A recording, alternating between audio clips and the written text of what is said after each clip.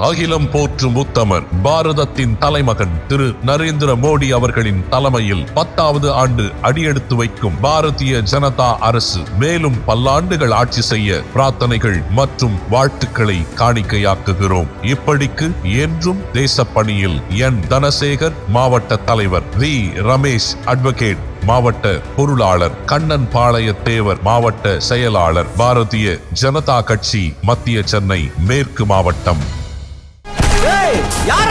காதர் பாஷா என்று முத்துரா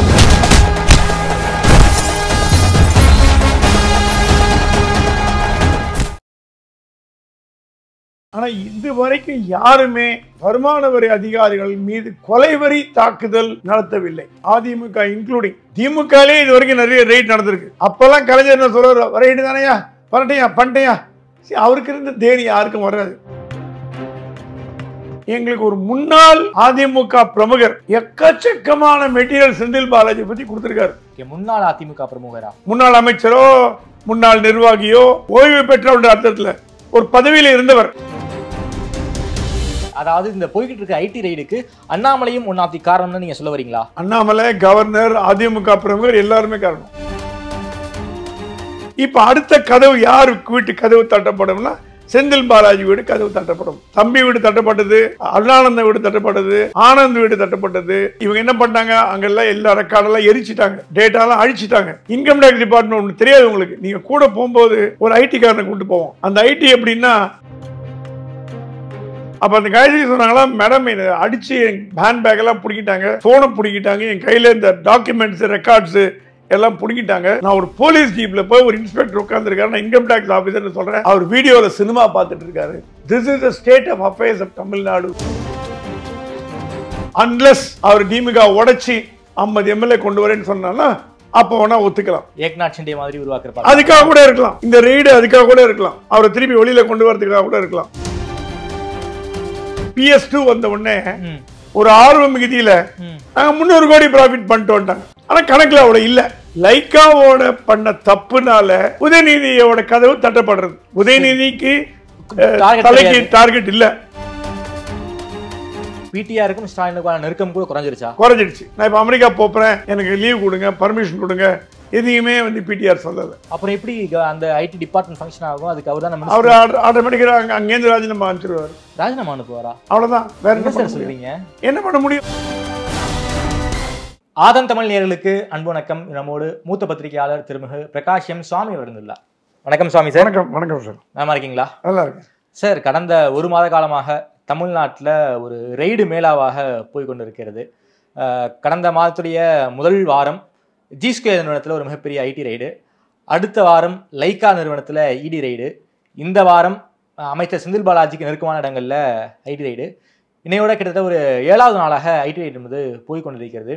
இன்னும் இரநூறுக்கும் மேற்பட்ட இடங்களில் ரைடு என்பது நடந்து கொண்டிருக்கிறது. முதல் நாளே ரைடுக்கு வந்து ஐஆர்எஸ் ஆஃபீஸர் பலரும் தாக்குதலுக்கு உள்ளாகியிருக்காங்க. பல பேர் வந்து ஹாஸ்பிட்டலில் போய் அட்மிட் ஆகியிருக்காங்க டிஎஸ்பி ஆஃபீஸ் வரைக்கும் போயிட்டு தஞ்சமெல்லாம் கேட்டிருக்காங்க. இந்த இஷ்யூ வந்து ஃபினான்ஸ் மினிஸ்ட்ரி வரைக்கும் ரிஃப்ளெக்ட் ஆகிருக்குன்னு சொல்லியிருக்காங்க. அந்த ரைடு அதுக்கு மேலே நடந்த தாக்குதல் தொடர் ரைடு அதுக்கப்புறம் செந்தில் பாலாஜி தம்பி அசோக்குக்கு சம்மன் கொடுத்துருக்காங்க. இந்த டெவலப்மெண்ட்ஸ்லாம் நீங்கள் எப்படி சார் பார்க்குறீங்க சரி தமிழ்நாட்டு அரசியலில் இன்கம் டேக்ஸ் ரைடு என்பது புதிதல்ல இது ஒன்றும் ஃபர்ஸ்ட் டைம் நடக்கிறது இல்லை. திமுக கவர்மெண்ட் அதிமுக கவர்மெண்ட் எல்லா கவர்மெண்ட்லயுமே மந்திரிகள் ரெய்டு நடந்தது. சீஃப் செக்ரட்டரியோட ரூம்லயே ரெய்டு நடந்தது. பெரிய பெரிய இடத்துலலாம் ரெய்டு நடந்தது. அது வந்து ஒரு ஒரு சாதாரண விஷயமா பார்க்கப்பட்டது.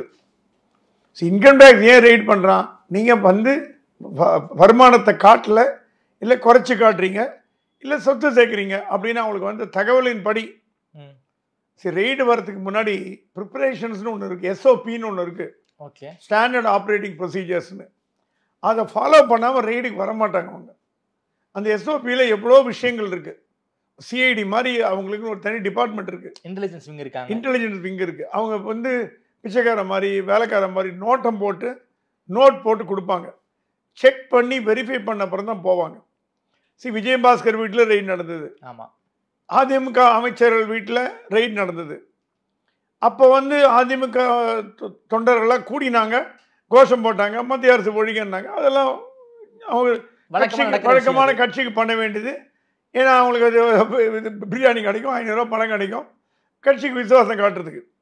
ஆனால் இது வரைக்கும் யாருமே வருமான வரி அதிகாரிகள் மீது கொலைவரி தாக்குதல் நடத்தவில்லை. அதிமுக இன்க்ளூடிங் திமுகலே இது வரைக்கும் நிறைய ரெய்ட் நடந்திருக்கு. அப்போல்லாம் கலைஞர் என்ன சொல்றாரு? ரைடு தானையா? வரட்டையா பண்ணிட்டையா சரி அவருக்கு இருந்த தைரியம் யாருக்கும் வராது. அவருக்கு தெரியும் பார்த்துக்கலாம் பின்னாடி. மரியாதை ட்ரீட் பண்ணுவார். எதிரிங்களையும் மரியாதை ட்ரீட் பண்ணக்கூடிய ஒரு விஷயம். ஸ்டாலின் இருந்தார்னா இது நடந்திருக்குமான்னு கேட்டிங்கன்னா நடந்திருக்காது. அவர் கண்டிப்பாக நடந்திருக்க விட மாட்டார் அலோ பண்ணியிருக்க மாட்டார். அலோவ் பண்ணியிருக்க மாட்டார். உடனடியாக ஸ்டாப் பண்ணியிருப்பார். இன்ஃபேக்ட் அவர் நியூஸ் தெரிஞ்ச உடனே எல்லா ஜப்பான்லேருந்தோ சிங்கப்பூர்லேருந்தோ கூப்பிட்டு சத்தம் போட்டதாக கேள்விப்பட்டேன். சரி இது என்னன்னா தேன் கூட்டில் கையை வச்சிங்கன்னா தேனி வந்து கடிக்காமல் இருக்காது. ஓகே. நீங்கள் வந்து போகிற ரூட்டு சரியில்லை. நீங்கள் மடியில் கனம் இல்லைன்னா வழியில் பயம் இல்லை. நீங்கள் யாருக்கும் பயப்பட வேணாம். டெல்லியில் என்ன நடக்குதுன்னு பார்க்குறீங்க வெஸ்ட் பெங்காலில் என்ன நடக்குதுன்னு பார்க்குறீங்க பீகாரில் நடக்கிறது பார்க்குறீங்க தெலுங்கானாவில் அவர் பொண்ணையே அரெஸ்ட் பண்ணது பார்க்குறீங்க இதுலேருந்து பாடம் கற்றுக்க வேணாமா? சரி டெல்லிங்கிறது ஒரு மான்ஸ்டர் மாதிரி. அது காங்கிரஸாக இருந்தாலும் பிஜேபியாக இருந்தாலும் ஒரு மான்ஸ்டர் பேய் தான் அவங்க. ஒரு பூதம் மாதிரி அது. மன்மோகன் சிங் வந்து அது சரியாக பயன்படுத்தலைன்னா அது அவர் தப்பு. அவர் ரொம்ப ஒரு அடங்கி உடங்கி சாப்பிட்டா இருந்து போயிட்டார். மோடி அப்படி இல்லை. எல்லாரையும் தூக்கி சாப்பிட்றாரு. அவர் கட்சி ஆளுங்களே உரங்காட்டி வச்சிட்டார். மோடி தான் இப்போ பிஜேபி. அவர் தவிர்க்க முடியாத தலைவர். மோடி தான் இந்தியான்னு ஆயிடுத்து. தவிர்க்க முடியாத தலைவர்னு. அதுக்குன்னு நீங்கள் வந்து தமிழ்நாட்டை அடகு வைக்க சொல்லி சொல்லலை. தமிழ்நாட்டோட நலன்களை நீங்கள் வந்து எந்த வகையிலையும் காம்ப்ரமைஸ் பண்ணிக்க வேணாம். ஆனால் சென்ட்ரல் கவர்மெண்ட்டை மோதாமல் இருக்கணும். ஓ என்னதான் ஒரு பவர்ஃபுல் மேனாக இருந்தால் கூட ஈகோன்னு ஒன்று இருக்கும். இப்போ கவர்னரை தொடர்ந்து தாக்குறீங்க. தாக்கிட்டே வரீங்க எவ்வளோலாம் முடியுமோ அவ்வளோலாம் தாக்குறீங்க. அவர் பெரிய இன்டெலிஜென்ஸ் புலிங்க அவர்.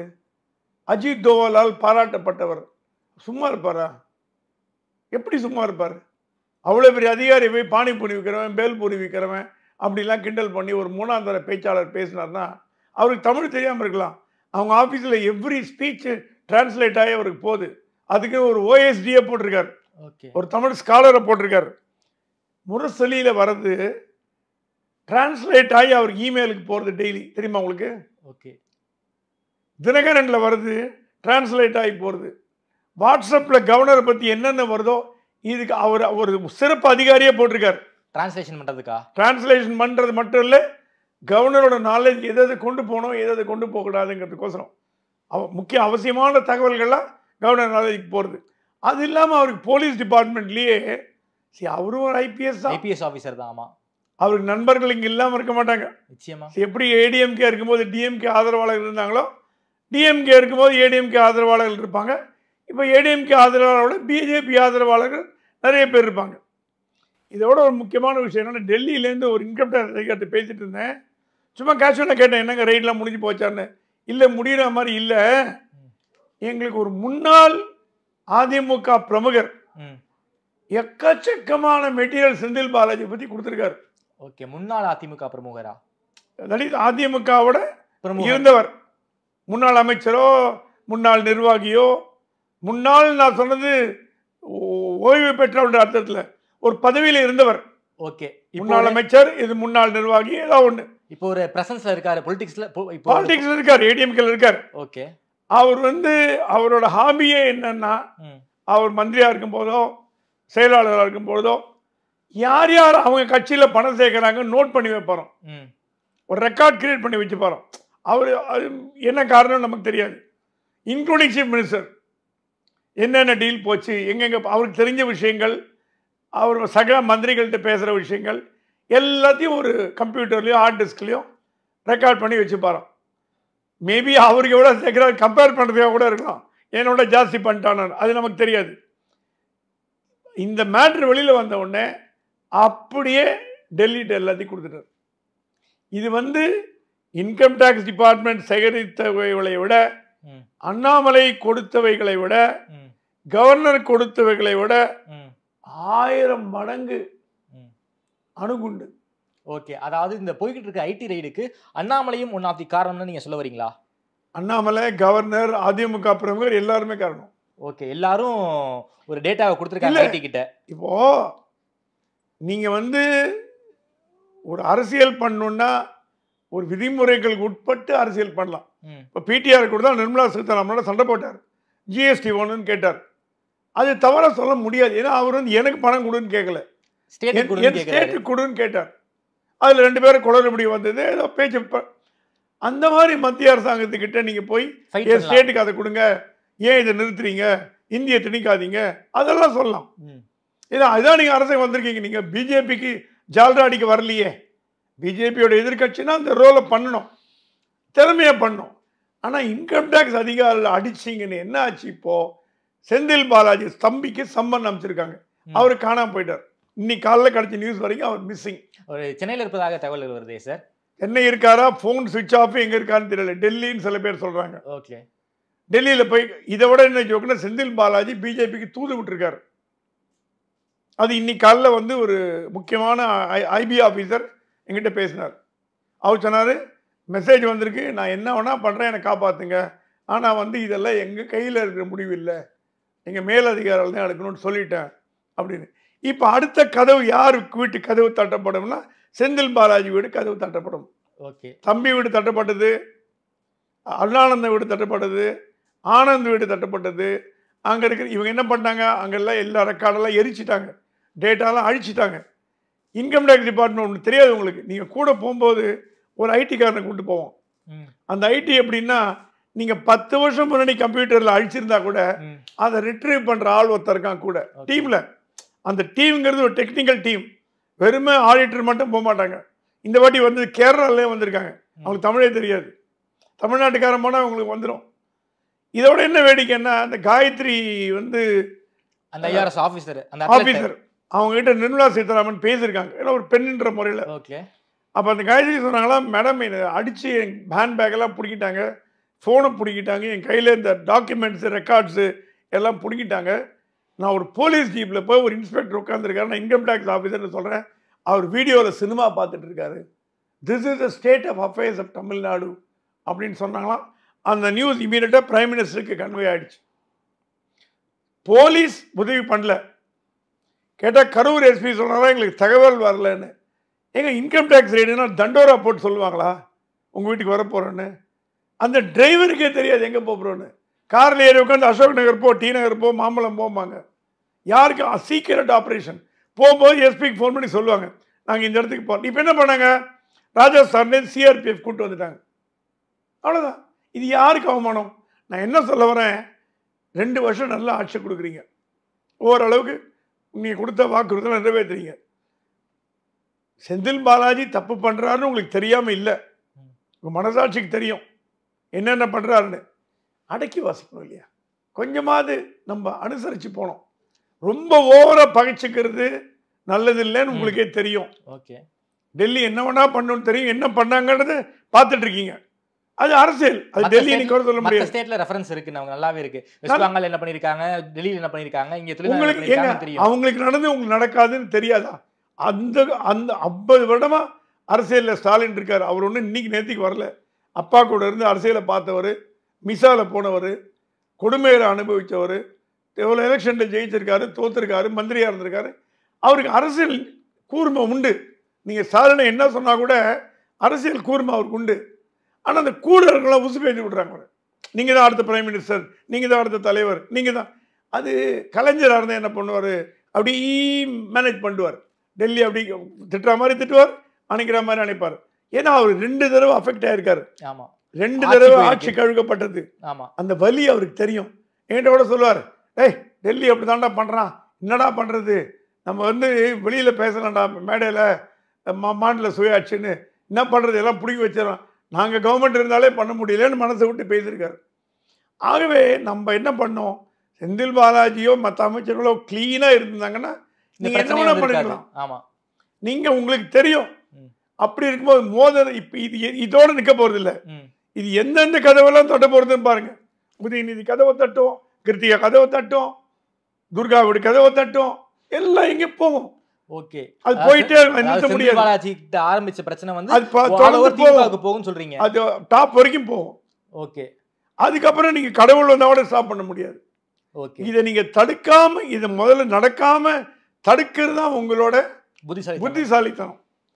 கைமீறி போனாவிட்டு நீங்கள் டெல்லிக்கு தூது போய் செந்தில் பாலாஜி இப்போ பிஜேபி கூப்பிட்டானா பிஜேபி நாளைக்கு வாங்கன்னு கூப்பிடுவானே அன்லெஸ் அவர் திமுக உடைச்சி ஐம்பது எம்எல்ஏ கொண்டு வரேன்னு சொன்னான்னா அப்போ வேணா ஒத்துக்கலாம். அது நமக்கு அது ஒரு யூகம் தான் நமக்கு தெரியாது.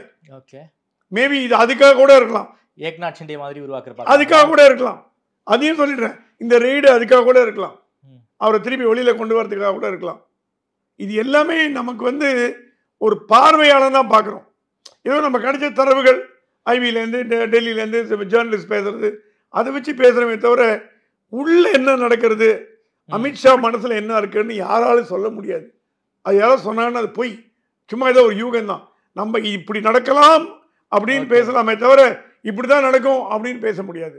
ஆக மொத்தம் திமுகவுக்கு தலைவலி ஆரம்பிச்சாச்சு. அதுவும் செந்தில் பாலாஜில தலைவலி சொல்றீங்க? தலைவலி ஆரம்பிச்சாச்சு. Okay sir. ஒரு பக்கம் செந்தில் பாலாஜி ஐடி ரைடு. இன்னொரு பக்கம் இடி ரைடு இதுக்கு போயிருக்காங்க. லைக்காவுக்கு போயிருந்தாங்க.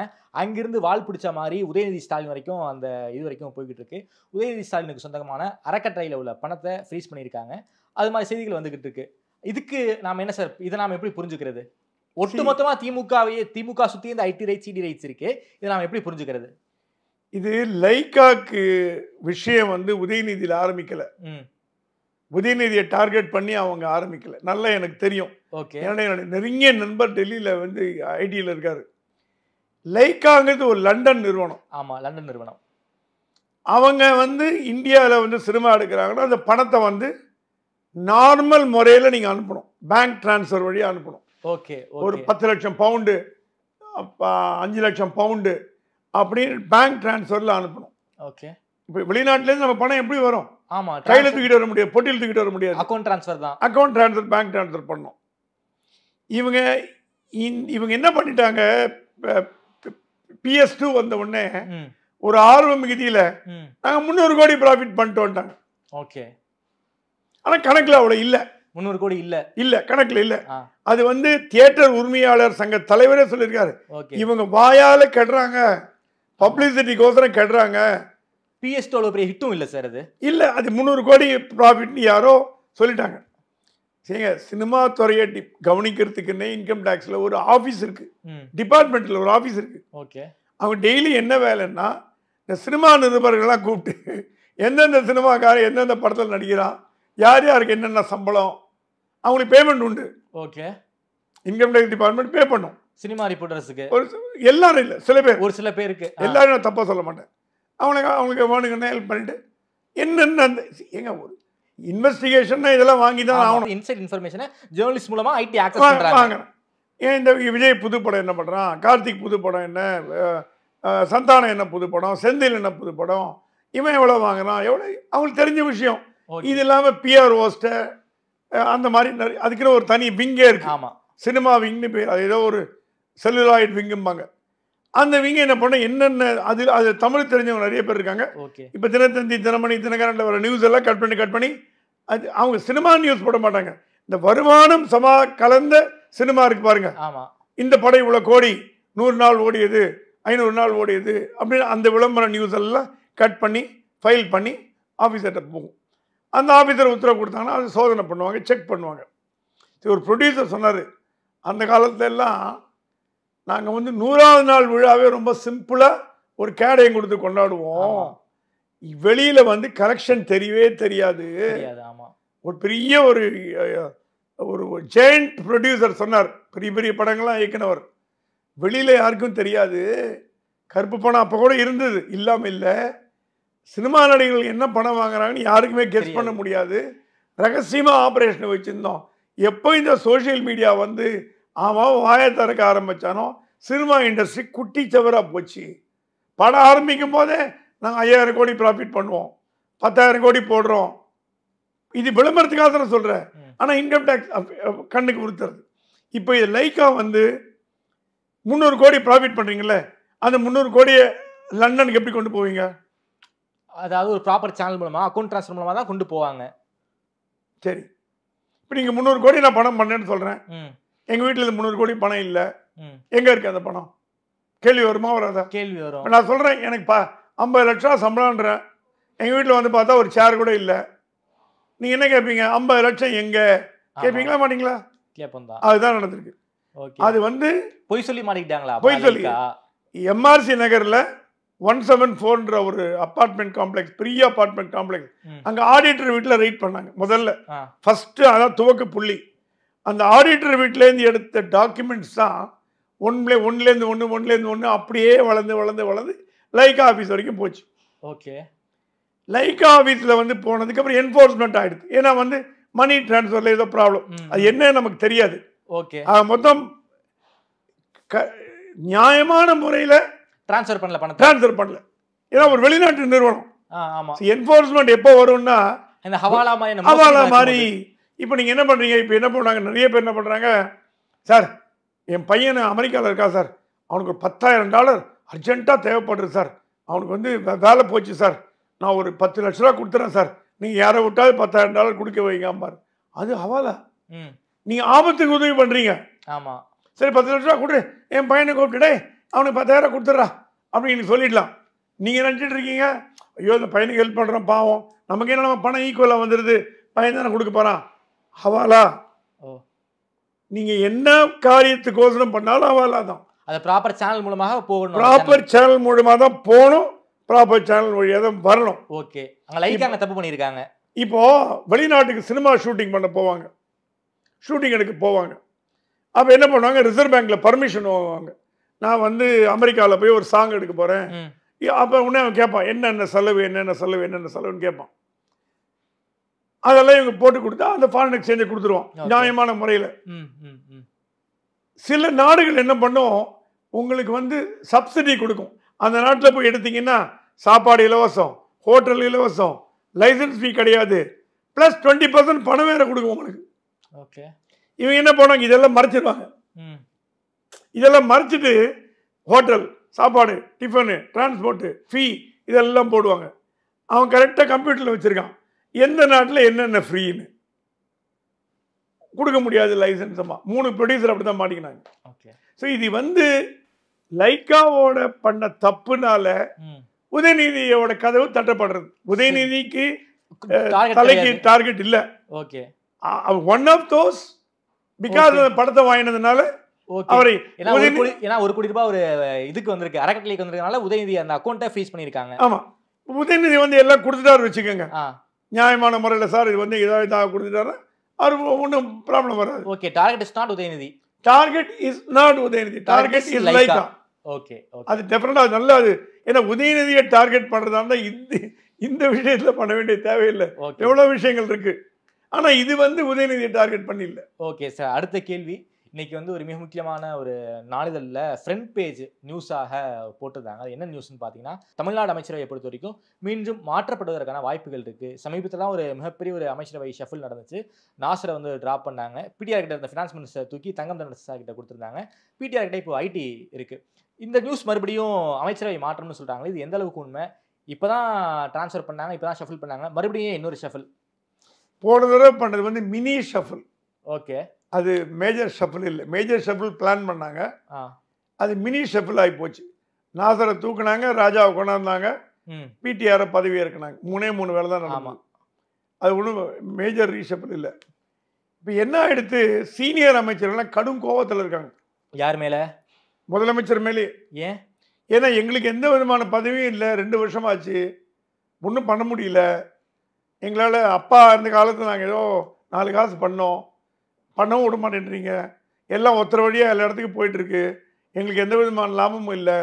நாங்கள் எதுக்கு நாங்கள் தண்டத்துக்கு உட்காந்துருக்கணும் பாதி பேர் ஹவுஸ் அவருக்கு கவர்மெண்ட் கொடுத்த வீட்டை எடுக்க மாட்டேன்றாங்க. சென்னைக்கு வர மாட்டேன்றாங்க.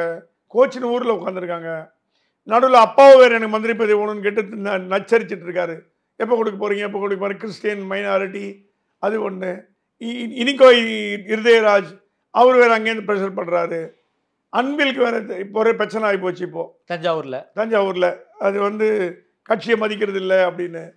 ஆனால் அன்பில்லாம் பலி கொடுக்க மாட்டாங்க. ஏன்னா அன்பில்லாம் வந்து ப்ளூ ஒயிட் பாய் அவங்களாம் அந்த கேட்டகரி இப்போ இன்னைக்கு இருதயராஜ் வந்து சர்ச் வழியாக ப்ரெஷர் கொண்டு வர்றார். எப்படியாவது மந்திரி ஆகணும் இந்த வாட்டின்னு.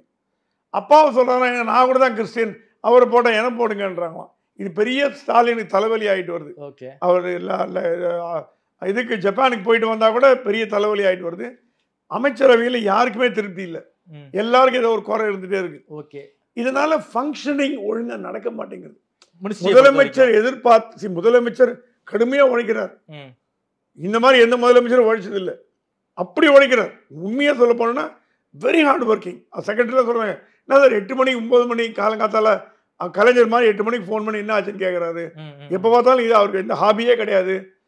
ஒரே பொழுதுபோக்கு பேரம்பேத்திகளோட விளையாடுறது தான். டிவி கூட பார்க்கறது இல்லை. அவர் சண்டே கூட ஆஃபீஸில் உட்காந்துருக்காரு அப்படி நல்ல ஒரு கவர்மெண்ட்டை கொடுக்கணும்னு ஆசைப்படுறாரு. ஆனால் அந்த ஆசையை கெடுக்கிறதுக்குன்னே இந்த அமைச்சர்லாம் வந்திருக்காங்க.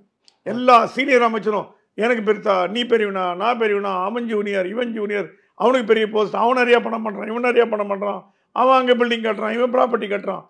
கேட்டு கேட்டு கேட்டு அவருக்கு அழுத்து போச்சு. ஓகே உள்ளுக்குள்ள போட்டி பொறாமைகள். ஒரே ஜாஸ்தி ஆயிடுச்சு. அன்பிற்கு நேருக்கு முட்டிக்கிச்சு அவன் இவருக்கு முட்டி இந்த முட்டல் மோதலே என்ன ஆகி போச்சு? கலைஞர் பீரியட்ல இந்த முட்டல் முதல்ல பெருசா இருந்தாலும் வெளியே தெரியாது சார். see, கலைஞர் வந்து இரும்பு கரம் கொண்டு அடக்குவார். கலைஞரை மீறி யாருமே செயல்பட்டதில்லை.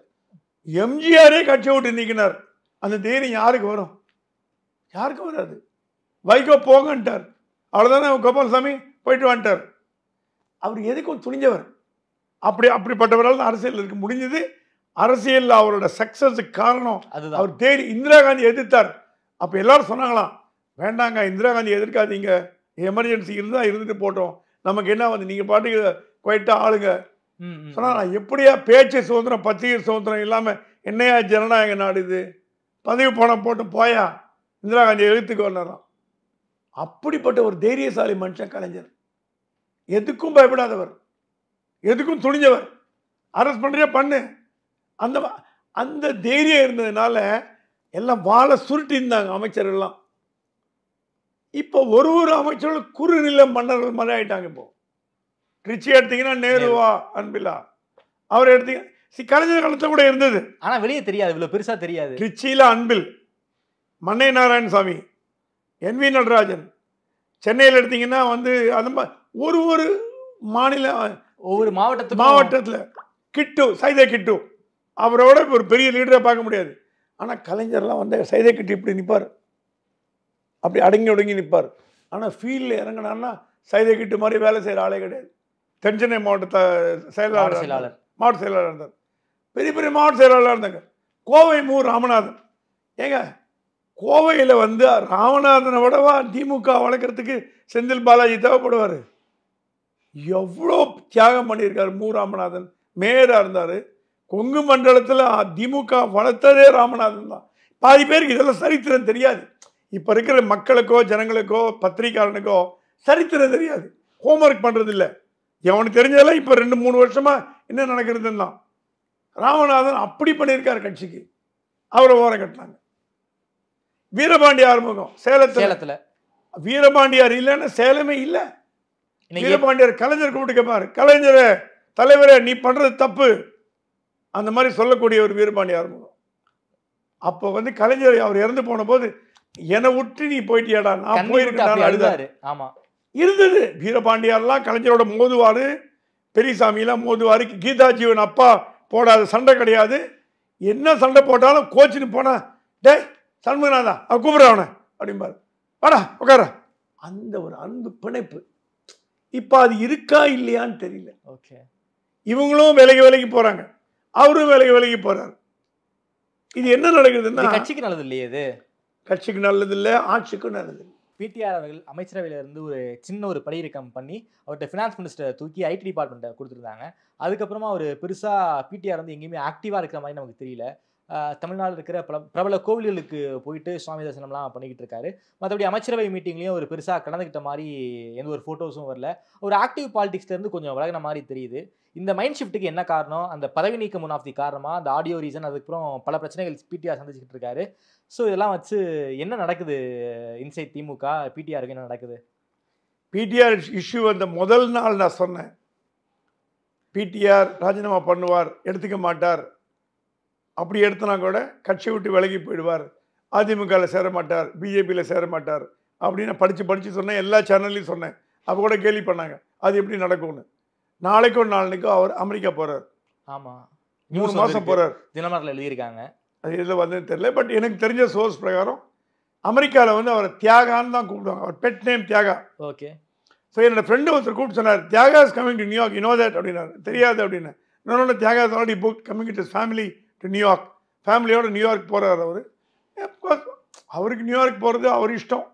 அது ஏன்னா அவர் அங்கே சென்னை மதுரை இருந்தவர் அங்கே இருந்தவர். அவர் அதே ஊரில் வளர்ந்து போ- படிச்சு வளர்ந்து வேலை செஞ்சு அவரோட செகண்ட் ஹோம் மாதிரி அவர் ரெண்டாவது வீடு மாதிரி நியூயார்க் எஸ் சிங்கப்பூர்லேயும் இருந்திருக்கார். அவர் ஒரு இன்டர்நேஷ்னல் ஒரு பேங்கர் ஆனால் மூணு மாதம் நீங்கள் நியூயார்க்கில் போய் இருந்து ஐடி விங் மந்திரியாக இருக்க முடியாது.